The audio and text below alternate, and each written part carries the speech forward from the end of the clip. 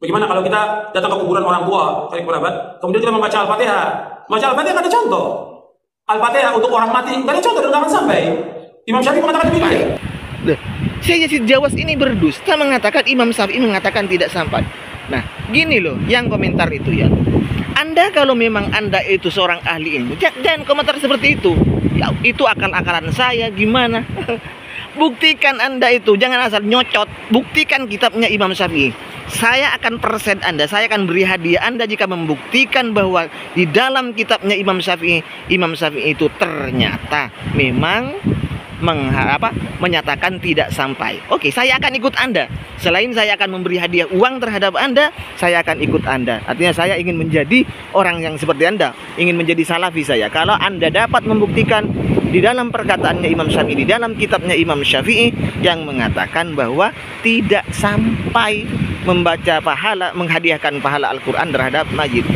Assalamualaikum warahmatullahi wabarakatuh. Alhamdulillah wassalatu wassalamu ala Rasulillah wa ala alihi wa sahbihi wa mawala amma ba'du. Sahabat-sahabat Aswaja, seluruh subscriber, para nabi, para penonton semuanya tanpa terkecuali di mana pun berada.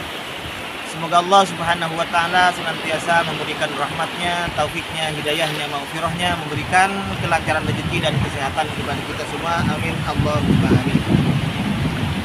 Baik teman-teman, kali ini saya akan merespon salah satu komentar yang lucu menurut saya ini dari orang-orang Wahabi, dari salah seorang yang mengatasnamakan dirinya pengikut salam.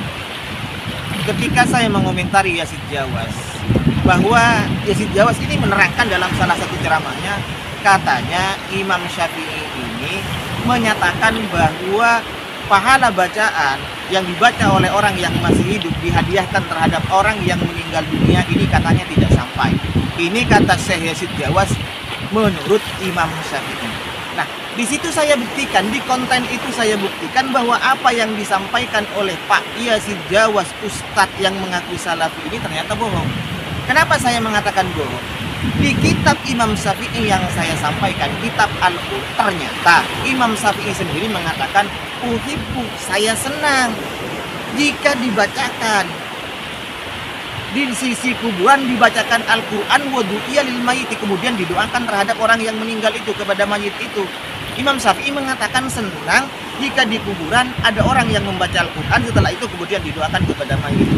Pak Yazid Jawas mengatakan tidak sampai Kemudian saya jelaskan juga perkataan madhab al-masyhur bil madhab syafi'i yang mengatakan bahwa pahala bacaan tidak sampai kepada mayit itu maksudnya adalah ketika orang itu membaca bukan fi hadratil mayit dibaca di rumahnya misalnya mayitnya ada di kuburan. Nah ini perlu niat dan perlu doa kalau dibaca di kuburannya, maka tidak usah niat dan tidak usah doa. Jadi, kalau tidak dibaca di kuburan, tidak diniatkan, dan tidak didoakan terhadap mayit, ini maksud ulama syafi'iyah.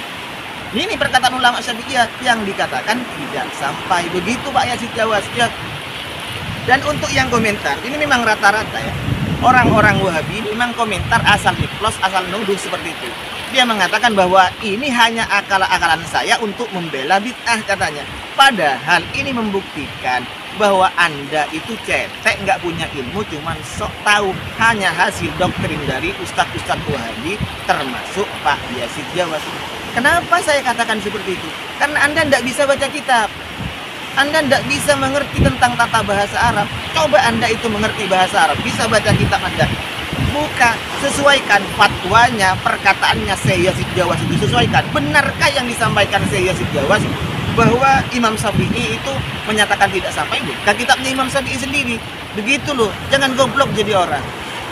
Makanya benar apa yang disampaikan oleh Ibnu Taimiyah. Anda tahu Ibnu Taimiyah siapa imam yang dikatakan imam besar oleh orang Wahabi Syekhul Islam itu di sana beliau menyatakan bahwa pangkal jadi aslu bolali al uh, mubtadi ahli bid'ah jadi aslu bolali ahli bid'ah pangkal kesesatan dari ahli bid'ah adalah karena ketidaktahuannya terhadap bahasa Arab termasuk anda anda gampang dibohongi itu dibohongi oleh Zaid. Coba Anda baca sendiri. Nah, gini aja. Saya akan kasih hadiah Anda uang dan saya akan ikut Anda. Jika Anda bisa membuktikan pernyataan Imam Syafi'i yang menyatakan bahwa menghadiahkan pahala bacaan terhadap mayit itu tidak sampai. Secara mutlak ya. Jika Anda bisa membuktikan di dalam kitabnya Imam Syafi'i sendiri dan kitabnya Imam Nawawi yang merupakan ulama Syafi'iyah, saya akan kasih Anda uang dan saya akan ikut Anda ya. Begitu ya yang komentar. Jadi kalau mau komentar, janganlah menampakkan diri Anda itu bodoh. Jangan menampakkan bahwa diri Anda itu tidak tahu apa-apa, cuma asal komen, asal Ya beginilah memang orang Wahabi. Asal nuduh-nuduh yang penting berbeda dengan dia sesat, sesat, sesat semuanya itu menandakan bahwa diri Anda goblok tapi sok bicara agama. Baik, demikian apa yang bisa saya sampaikan. Mudah-mudahan bermanfaat. Dan yang silakan saya tantang Anda untuk live dengan saya. Buktikan rekeningnya Anda, buktikan ini rekening saya. Nanti saya, saya transfer.